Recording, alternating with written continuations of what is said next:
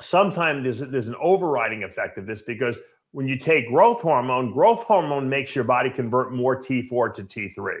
So sometimes if you go for blood work with when you're on growth hormone, you'll notice you have high T3 levels or high normal sometimes, and then your T4 levels are a little on the lower side. And people think sometimes doctors don't understand this. They're like, "Oh, your thyroid gland isn't producing enough T4." Well, it is. I mean, T, yeah, it is. It's just you're converting more to T3 because of GH. I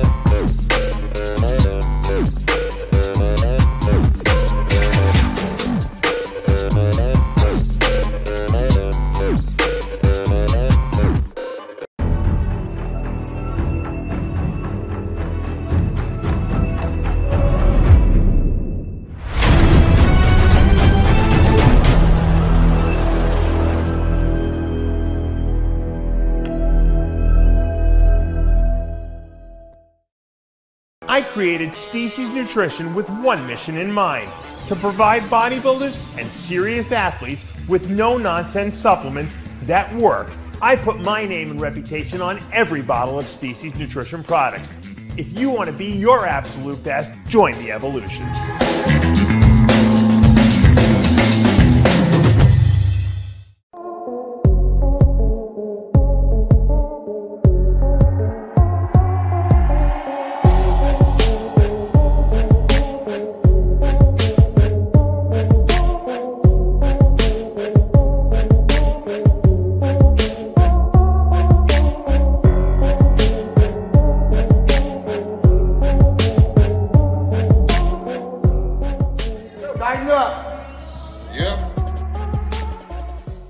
Is the game Triple H from the WWE. You're watching RxMuscle.com, the truth in bodybuilding.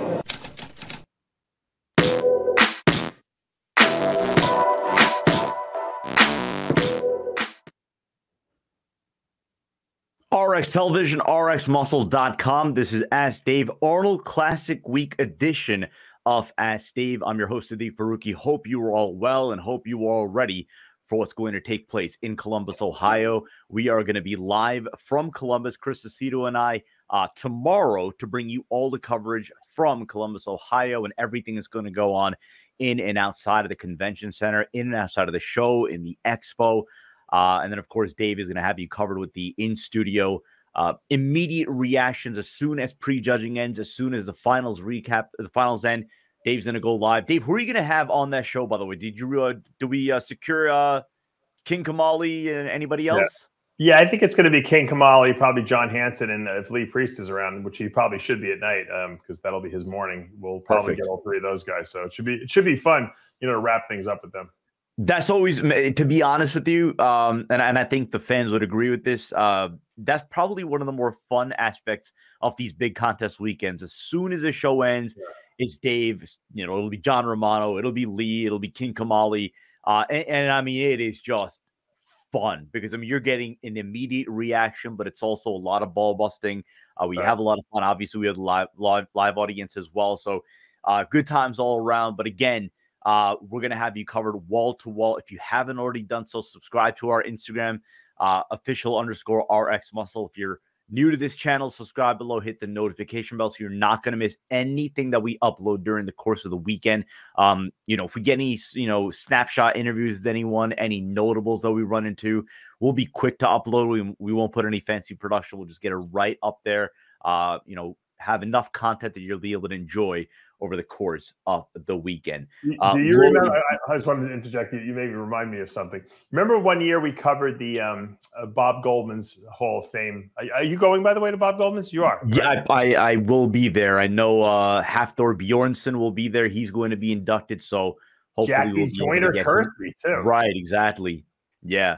Probably people don't even know who she is. She was like when I was when I was a runner. That was like she was like the greatest woman athlete uh, of the era. I mean, she won the heptathlon like two times at the Olympics. She was amazing. But yeah, it should be good. Bob always the guy has really, really good um, inductees, and he flies them in first class. You know, puts them up in the hotel. He he takes good care of them, and so people like to come and do the do the uh, event. And I, I, think it's you got a good class. You're going to be uh, interviewing them. But one year they had Jason Statham, you know, movie star. Yeah extraordinaire. And I got to interview him because my good friend Fairfax Hackley, Hackley, he runs the, um, the, the security and procures all the athletes for Bob. He basically run, run puts the whole show together for Bob. Yeah. And he, you know, he hooked me up and he gave, got me an interview with uh, Jason. And at the time, our video guy Johnny was uh, somehow, I, or I don't even know if it was Sal, it was whoever was working with. Someone videoed it and it and it got lost somehow and it got erased. And I was so upset because it was like that's like a guy like I really he's like an actor I really enjoy his movies and I watch them all and uh, the Transporter and all the other you know the Expendables and everything he's done over the years. He's just a cool actor, and I was so upset and like I can't remember. I think Johnny what someone found it like three or four years later, and it did it did go up on our site. But that that event always has top top quality uh, stars, athletes, and so uh, don't they have a basketball player getting inducted this year too? So, no, uh, an NFL legend, Ronnie Lott. Oh, Ronnie Lott, right? right yeah. Ronnie Lott, and a four-time Super Bowl champion. So yeah. Uh, it, it's going to be a lot of fun. I mean, it, obviously for our bodybuilding audience, they'd be uh-huh. probably most familiar with Hafthor Bjornsson. So we'll yeah. make him a priority to see if we can get him on camera after the induction ceremony. But yeah, if we get Ronnie Lott, Jackie Joyner Kersee, uh, obviously, you know, again, it, it's great because you know that event brings together um, you know, heroes from different sports, you know, sure. accomplished athletes. So, you know, but again, eh, between that, between the expo interviews, obviously, um, the uh, meet the athletes interviews that we're going to do uh, tomorrow night, actually, um, you know, and anyone that we run into, just like the Olympia. I mean, basically, you will we'll be on high alert the entire mm-hmm. weekend. Uh, you know, I'll have my cameraman Kaz with me the entire time. So anyone that we run into, anything that we encounter, I'll be sure to get on our channel and uh, Right. You know, again, like I said, subscribe, Jackie, hit the notification bell. Jackie Joyner Kersee signed my sneakers. I probably told the story. I don't remember, but no, she signed my sneakers in 1980, hmm. 84. I think 83 or 84. No, no, that's not right. 87 or 88 when I was in college. She appeared at a Kmart in Lancaster, Pennsylvania, and I was a runner at the time. And, and that's a throwback Kmart. Yeah, Kmart. They don't even have Kmart. no, it's and they uh, and she was signing pictures, and people didn't know what to do. And I just said, "Hey, uh, would you sign my sneakers, my running shoes?" And she signed my running shoes. So, but that was my uh, Jackie Joyner Kersee. So, so hopefully we'll uh, be able to get Jackie Joyner yeah. On camera after the induction ceremony. Let's go to the questions. Loaded, loaded episode. Um, obviously. Uh, well, here, hold on. I'm going to give you. I'm going to give the bodybuilding connection now. So Jackie Joyner, her brother Al Joyner was married to Florence Griffith Joyner, who's who passed um, since then. I don't know something she had something wrong, but she won or three or four gold medals at that '84 Olympics, and she wore these spandex tights. And people remember hot skins; they were like spandex except one leg was was completely open and one leg was was um, covered. And John Brown, the bodybuilder, you guys remember him? That's like Shawn Ray, Melvin Anthony's like. Uh, he's he was their like big influencer, taught them how to pose and all that stuff. Yeah. John Brown designed those tights for Jackie Joyner because she was in that whole Venice, California area there. And so they all uh, they made their outfits for them, and all the Americans had the one leg thing. Like and Jackie, of course, Florence Griffith winning the gold medals, you know, was like the the, the and she had these really long nails if you remember, and she was the the, the poster child for that, and that was that was the the, the connection to bodybuilding, you know. I, that is that is one wild direct indirect yeah. tie-in, but there you yeah. have it. So hopefully we can ask her about that uh, yeah. this upcoming weekend. So get about her brother. Sorry, you could ask her about her brother Al. Yeah. exactly. First two questions on the show from the Dave Palumbo Experience app.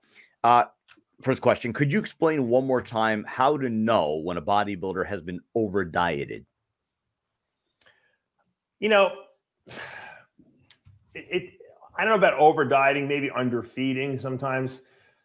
If the person is like ready at four weeks out and they continue to diet, sometimes they get like like a cachectic, like depleted look that instead of getting better and harder, they get worse. And what happens is because they're losing muscle and or too depleted, their skin gets loose. So because uh, and this has happened to me, not where I've lost an enormous amount of muscle, but I over dieted to the point where I no longer was looking better, I was looking worse. And it was because I was so depleted and I was in such a depleted state that my body was probably cannibalizing muscle tissue because I wasn't eating enough.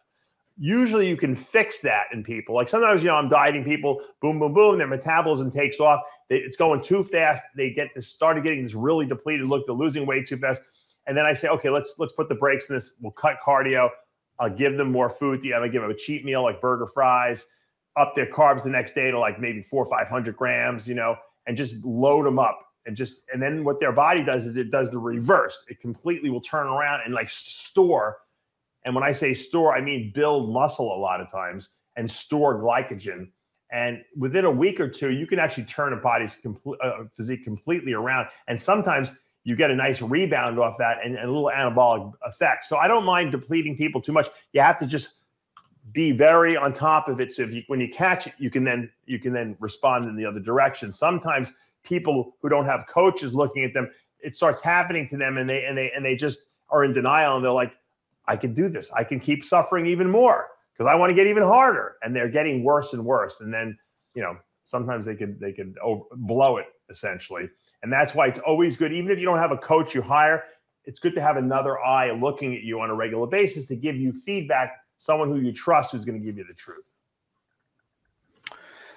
Second question again from the Dave Palumbo Experience app. Um, my HRT protocol allows for a year long addition of up to 150 uh, mg DECA weekly with my 200 mg test. What are the pros and cons of long term low dose DECA? You know, if you did 100 milligrams of DECA and 100 milligrams of, of test every week, you'd probably get a nice little reaction from that. And you probably, your, your levels wouldn't be too high. When you start mixing like 200, 250 milligrams of test with another 150 milligrams of DECA, now you're kind of doing a low grade anabolic cycle. There's really no toxicity from those because they're, they're long acting drugs. And assuming your blood pressure is good, I mean, there's really no negative health benefits. I mean, you might plateau a little on your response to those drugs because you're constantly using them all the time. Uh, you know, you're going to probably get the red blood cell boosting effect, but you get that anyway from testosterone. I don't necessarily see any negatives to it, especially if like you have joint issues and the DECA makes your joints feel really good. Um, but if you if you're starting to have like any kind of side effects, like maybe your creatinine is a little high because your maybe your, your blood pressures are running a little too too high, I mean that's something to consider. I I just I usually like if you're going to stay on like a like that kind of a dose, I kind of would like to bring it up and down, like maybe four, you know, like you know, maybe three months at the DECA test, and then maybe bring it down to just testosterone for like you know like like maybe six to eight weeks, and then go back up to that. Just because what's going to happen is you, you're going to you're not going to be responding after a while, so you're taking these drugs and you're not even getting good results from them anymore, aside from the maybe the anti-inflammatory effect from the DECA. So, or you can just, like I said, if you if you if you want, just take hundred milligrams of each every day. You know, forever. I mean, every day. I mean, once a week for continuously. I just think once you get into those higher dosages, you're kind of doing a cycle and you're getting a pharmacological muscle building, you know, beyond what physiologically would be going on naturally in your body. So you're not just replacing what you produce, you're taking more than replacement. So there's a fine line between physiological levels and pharmacological, meaning drug induced levels and you get different side effects with these and sometimes they're more subtle and you don't notice them but if you're up here you should come down here a little bit for a little bit of period and then go back up to here just so that you don't like once again stagnate number one and number two get any cumulative side effects Let's go to our Instagram questions. Again, if you're not already following us on Instagram, the handle is official underscore RX muscle. Um, again, with this big weekend, we try to document everything that we can on our Instagram, on our feed, on our stories, um, and then, of course, everything else on YouTube. So if you're new to this channel, we ask that you subscribe below, hit the notification bell. Uh, if you like what you're watching, give us a like, comment below. And as always, we appreciate all of your support and can't wait to bring you a wall to wall coverage of the Arnold Classic this weekend. Let's go to Dwayne B doing a carnivore diet, I hit a plateau in my weight loss. Should I have a cheat meal, cheat meal like McDonald's to reset my system? You know, carnivore diet is very similar to my ketogenic diet. It's just there's no vegetables in it, you know, and it's all meats. I, you know, to me, if you're going to do that diet, you might as well do my ketogenic diet because it's a lot healthier because there's a lot of essential fatty acids in there. There's better, you know, a better variety of protein sources and there's some vegetables that even though they're you know low low low glycemic uh, vegetables, but you can get in asparagus and green beans and some spinach possibly. So, you know, but having said that, whether you're doing my ketogenic diet or the carnivore diet, you should have some carbs at least once a week just to spike your insulin levels. And what does that do? Because you know your thyroid hormone is T4 essentially that's released from the thyroid gland. That's known as thyroxine. Thyroxine converts to T3. So T4 converts to T3 in your body, depending on how much your body needs. Your body will determine that and how much it converts. The T4 to 3, T3 conversion, however, is dependent on the fact that there's insulin present. So when insulin levels are low, your body will downregulate how much T4 converts to T3. It's just, just a fact. When insulin levels are higher, it converts more T4 to T3 because the body is smart. It uses that the it uses carbohydrate intake and insulin levels to determine whether the nutritional state of the body is good or it's deprived. Even though you might be eating enough calories with the ketogenic diet, if you're not eating enough carbs, it could slow your thyroid down, your thyroid conversion at least. By having a cheat meal once a week or, or a carb meal at least, and spiking your insulin at that meal, it basically tricks your body into thinking, oh, everything's cool. You know, we thought something was going on, but now we know. Look at these high insulin levels here. Everything's cool. Keep converting T4 to T3. Now, sometimes there's, there's an overriding effect of this because when you take growth hormone, growth hormone makes your body convert more T4 to T3. So sometimes if you go for blood work with when you're on growth hormone, you'll notice you have high T3 levels or high normal sometimes, and then your T4 levels are a little on the lower side. And people think sometimes doctors don't understand this. They're like, "Oh, your thyroid gland isn't producing enough T4." Well, it is. I mean, T, yeah, it is. It's just you're converting more to T3 because of GH.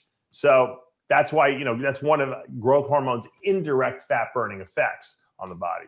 Now, these are great questions, and questions like this are really very common on my Dave Palumbo Experience app. And I don't know, I, I answered some questions from in the beginning, but you know, one of the things you get for twenty nine dollars a month if you download my app from your iTunes store or your uh, Android store is you get to ask me unlimited questions, and I answer them in an open forum on the app, so everyone sees everyone's questions, everyone's answers all my writings, all my videos are in one place. We put up a workout every week and they do an exclusive Q&A video session just like we're doing here. Like Ask Dave, it's an extra one we only give to the app members.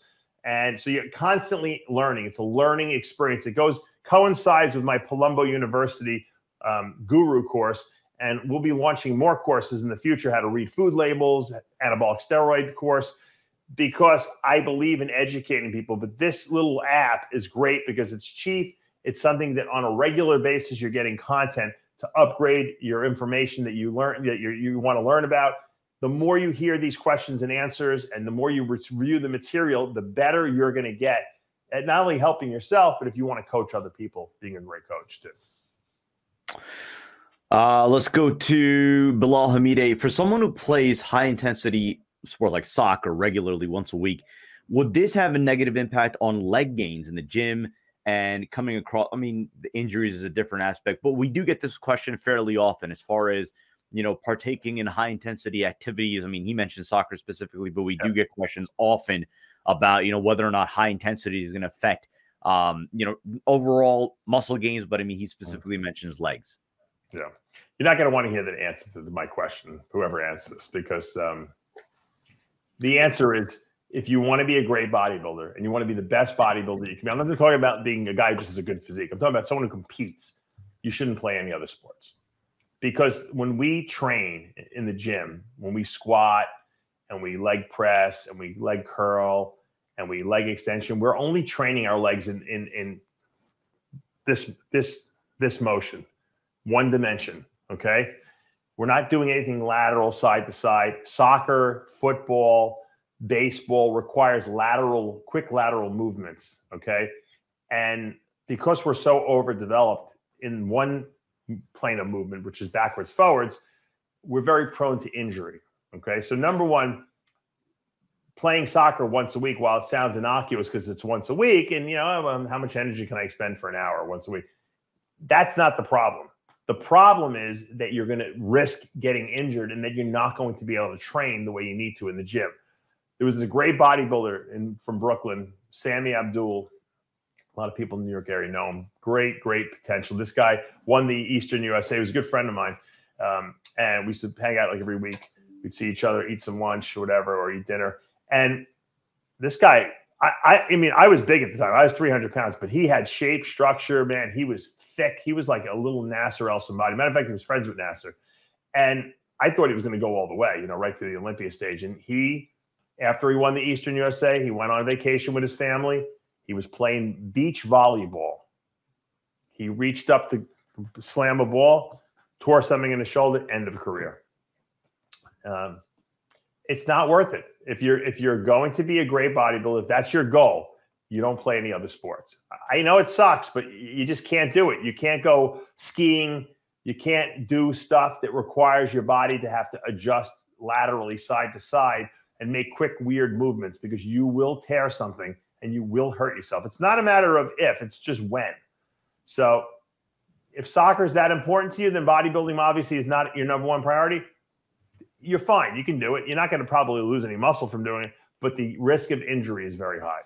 But Dave, let me ask you this, and I think this may have been part of his question because uh, again, we do get this question a lot. So, okay, take take a sport out of it, but just in terms yeah. of general high intensity training, right? We do get bodybuilders to talk yeah. about, you know, during prep, like they'll do sprints, they'll do like an explosive movements. You know, yeah. how would you factor that into them negatively impacting their gains? Once again, sprints, risk of injury. I don't see it as I don't think you're going to lose muscle from it. I think it's risk of injury is, is really what it what it amounts to. What in other words, if you don't have to sprint on stage, why would you do sprints? You know what I mean? Like I, I even the girls that do it, I, I just they run bleachers. Like I mean, you're not getting good glutes from running bleachers. Do do lunges in the gym. Think about it. Bodybuilding is about controlled movements, not fast ballistic type stuff, because that's how you get hurt. There's you're not going to burn calories on your butt because you're running bleachers. Okay. Just like if you get on a stairmaster and you squeeze your butt every every step that you take, you're not building any muscle back there. It's delusional. You might build mind muscle connection, nerve connections there. Yeah. But you're not you you cannot spot reduce fat. We know that for a fact. And number one, you don't build muscle from from walking steps. You build muscle from short bursts of activity, squatting, eight to 10 reps, leg pressing, lunges, Smith machine squat. That's how you build mass. We know that because you know there's not a million. You see, people see sprinters and they see, oh, look how big their legs are. Those guys squat in the gym. That's why their legs are so big. It's not because they were sprinting on the track. If they didn't do, if they didn't, if they didn't do crazy, you know, leg press, leg presses and and squats and lunges, they wouldn't have the size legs that they do. And and most of those guys are on on steroids, unfortunately. You know, I hate to break it to you. So if you're going to be a bodybuilder, stick with bodybuilding movements. I always people always come to me and say, uh, "Don't I need to do high intensity activity, uh, extra uh, aerobics to lose weight?" I'm like, they're not asking you to run a marathon on stage. They just want you to be lean. If your goal is to get ripped, do lower intensity, longer duration cardio so that you ensure you're only using fat as a fuel source you know, people just don't want to hear it. You know, they, they think that they uh, they can run they can run off the weight. You know, and that's not the case. Let's go to Ivan Nets. Thoughts on taurine? Uh, I saw Dorian Yates said he always included it in his pre-workout supplement stack, and then of course, uh, very prominent in, in more or less every energy drink you're going to find on the market. Oh boy, oh boy, the whole taurine thing. Yeah. Uh, doesn't do anything. Say, does it hurt? No, but it doesn't really do very much. I've researched it. I actually researched. I was gonna. I actually think I did a rant on it uh, maybe a couple years ago about why tor, you know, just why certain ingredients are in certain products and how they don't really do anything. But people put them in there by convention because like one person put taurine in an energy drink, so everyone does it because they think that's what has to be in there. But no one really knows what it does. They just know, hey, it's cheap enough throw it in there just so that people don't think it's missing, you know. But come on, what does it do? If you don't put the taurine in that in that Red Bull or that uh, that you know Rockstar energy drink you're drinking or Bang, it's going to do exactly the same thing without the taurine. So it doesn't prevent you know anything. So sorry to break it to you. Uh, Andrew Wilcox, you know, we do often you know, given your authority with the ketogenic diet, talk about different different aspects of it. You know, this question I'm glad it was asked because I think for uh, I don't want to say mainstream society, the, the non bodybuilding society, to many their introduction to ketogenic diet was um, you know as a discussion on the i guess say that it could help with epilepsy. So the question is uh, it's from andrew wilcox my son was recently diagnosed with epilepsy. Can the ketogenic diet help with this disorder? I've heard this works from sources but i can't seem to understand the mechanism. Do you have any clinical experience with this? Yeah i, I had a client who was uh, had who has seizure disorders and she said when she was when i would diet her for shows and she was off carbs she never had a seizure ever. It's something with the glucose. You know, when you're eating a lot of glucose and the brain is using glucose, if you have a seizure issue, whether it be epilepsy or other seizure disorders, it makes you more prone to them. Uh, when you take away glucose, you don't have seizures. And that's why they've always used medical ketogenic diets, you know, to prevent people who have seizure disorders from having them. Now, the medical ketogenic diet is different than what I advocate. Medical ketogenic diet is high fat, moderate protein, low carbs.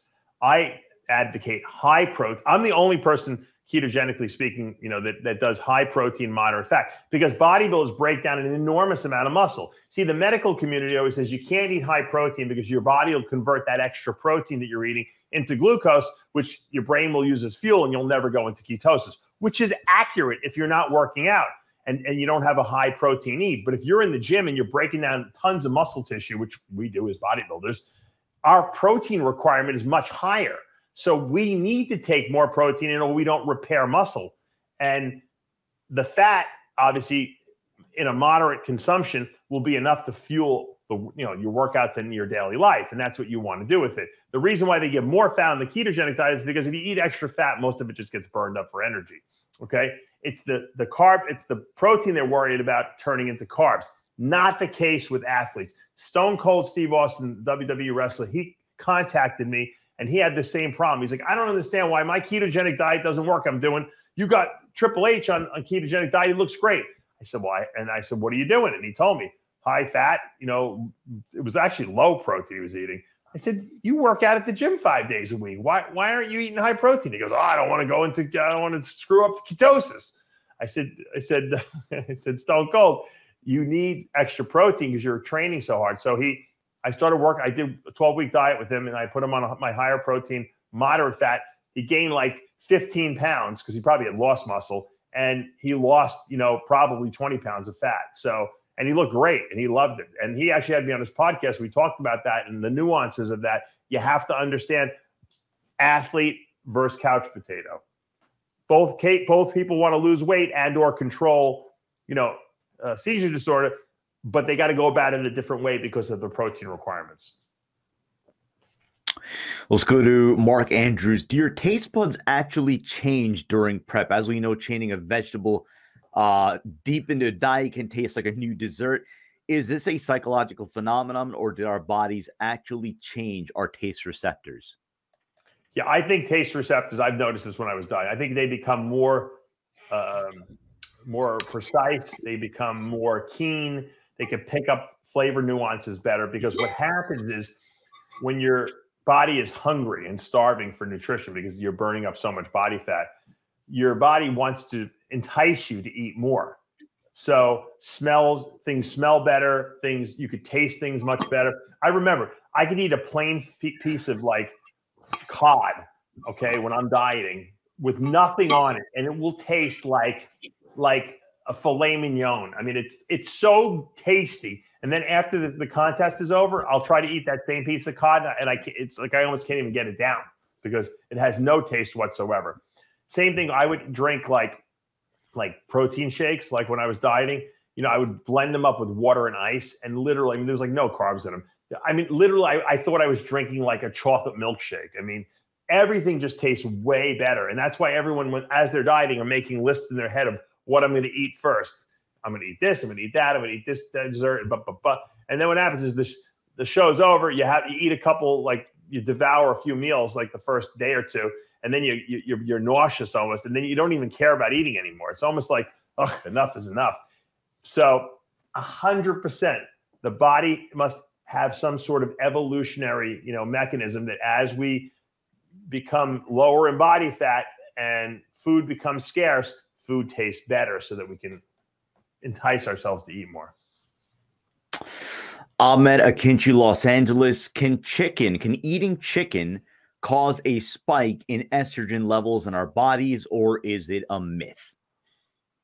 You know, maybe chicken McNuggets, because who knows what they put in those? They taste damn good though. My kids get them all the time. I can't stop eating them. But you know, are they are there estrogens in everything eh, right now nowadays? It seems like there are, like meats and because a lot of times they give hormones to the cows so that they eat more and get fatter so they have a better yield of, of you know beef.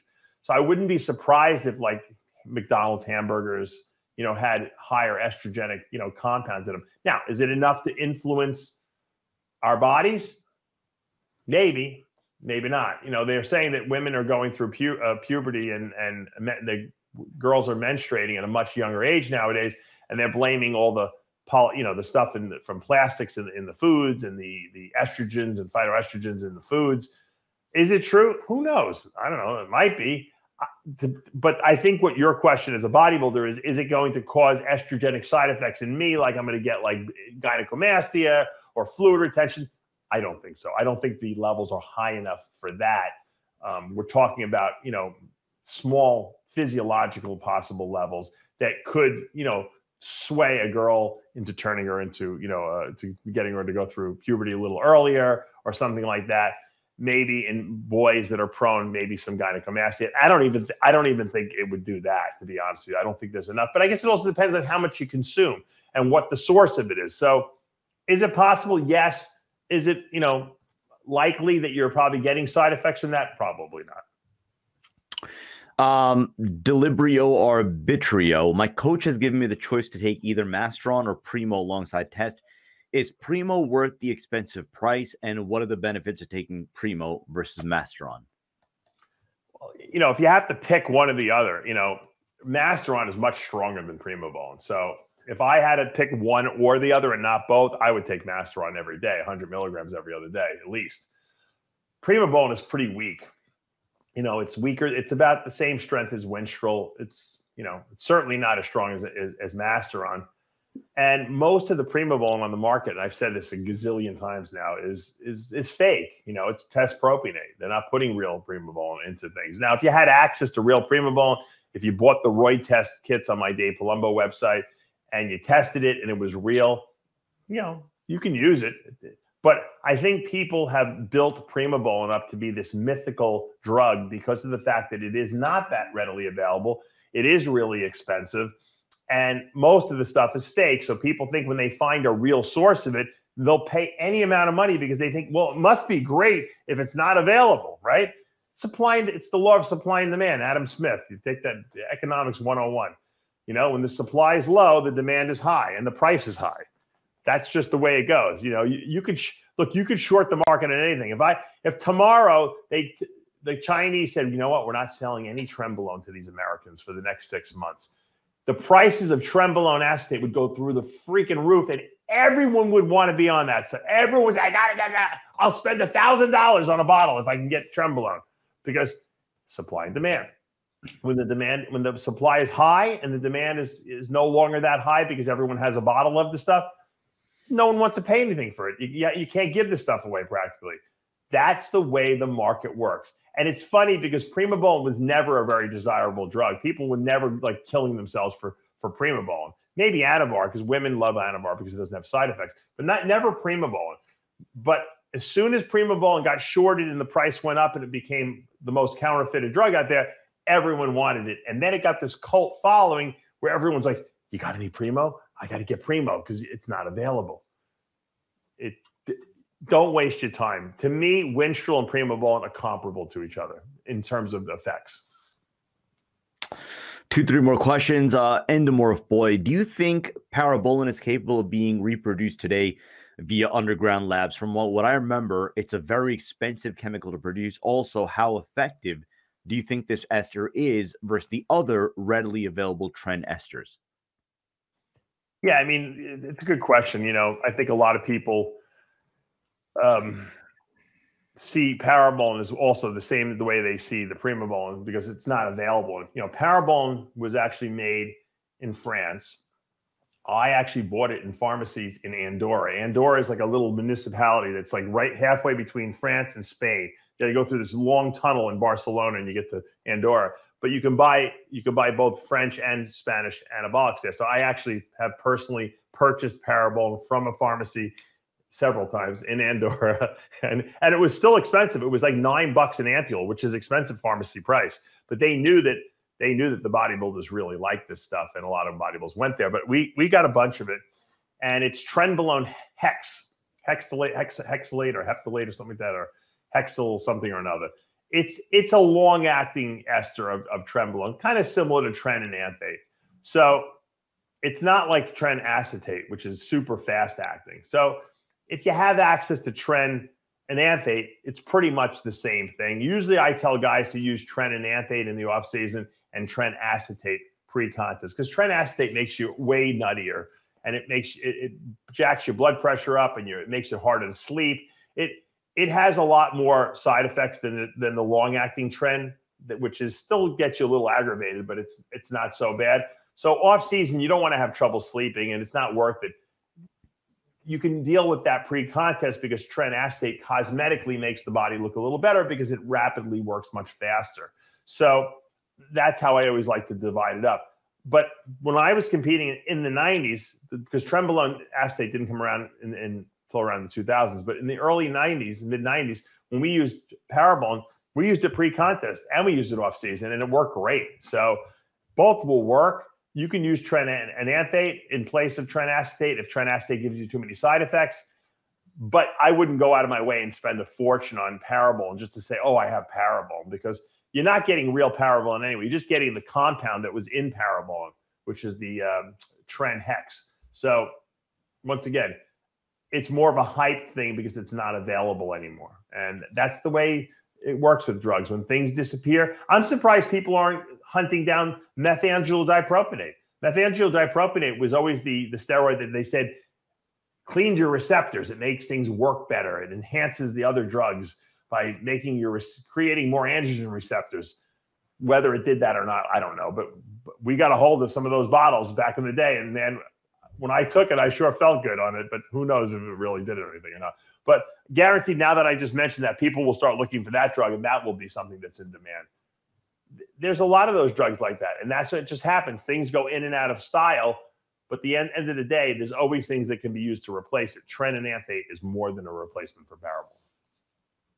Another question from uh, the same uh, viewer, Endomorph Boy. Several years ago, Bill Llewellyn put his legacy, his words, not mine, on the line with the theory of uh, ARA, ARA uh, arachidonic acid supplementation for muscle growth, his X Factor product. Since then, I've heard very little about this theory, nor do I know anyone who has tried it my questions are one, do you believe in the theory? Two, uh, do you know anyone that has successfully supplemented with ARA for muscle growth?